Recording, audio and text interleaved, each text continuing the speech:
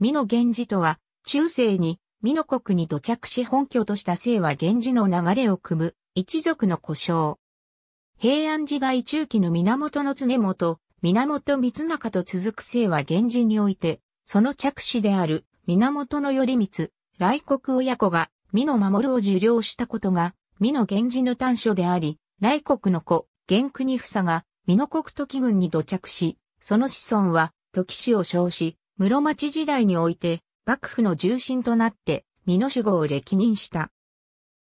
その他、清和原始では、下記の一族が美濃原始として土着している。清和源氏の着流、源、光中の長男、源頼光も摂津国に拠点を置いたことから、摂津源氏と呼ばれる武士団を形成し、光中の次男、源、頼親の系統は、大和国の本拠地としたことから、大和源氏と呼ばれる武士団を、三男、源頼信の系統は、河内国坪井を本拠としたことから、川内源氏と呼ばれる武士団を形成した。摂津源氏の中でも本拠である忠を継承した着流源、頼綱の系統を忠源氏と言い、頼綱の弟、元国房と三男、源の国直の子孫から美の源氏が派生した。公平7年、源、頼信の孫であり、全9年の役から帰還した八幡太郎義家が、美濃において国房と合戦を繰り広げている。国房は、その後、美濃国多芸軍において、矢島大部万世系統の源の重宗とも合戦を起こし、その後、美濃の東大治療赤鍋荘の掃除を務めるも、省内の土地を一部横領するなどしている。また、国房の子、現行国も、義家と対立関係にあり口論したことが伝わっている。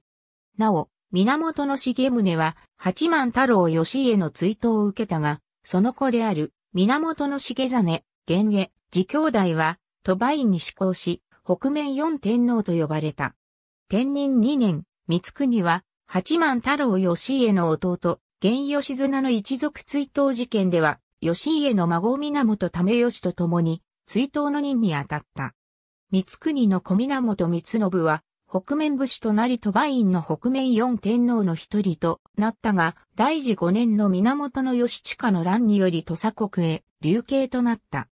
北面武士は、弟の現候補が継承し、方言元年の方言の乱では、後白河天皇方に参加して勝利し、平治元年の平治の乱では二条新政派となり、着難、高僧や老いの後期を率いて、新税を打つなど対抗を上げるが、後に寝返った。しかし、永略元年6月、後白河院の命を狙ったという罪状で、中殺された。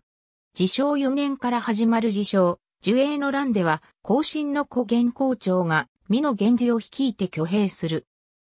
三長は、樹営2年、北陸道より進軍した源義仲に従い入居をしたが、義仲と後白河院の関係が悪化すると陰方につき、宝十字合戦において、忠行綱伏や亜州重宝と共に陰方の主力となったが敗れて、子息と共に討ち取られた三長の小光公は、源頼朝に仕えて、鎌倉幕府の御家人となり時氏を称した。時氏は南北朝時代には北朝方として室町幕府の創設に貢献したことから、美濃の守護大名となった。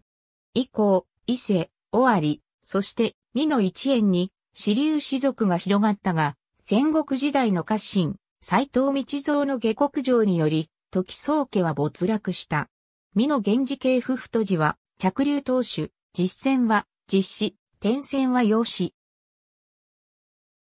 構成の都合で、出生順より組み替えの場合がある。また、現行庁の点線は都合上系譜の移動の印である。ありがとうございます。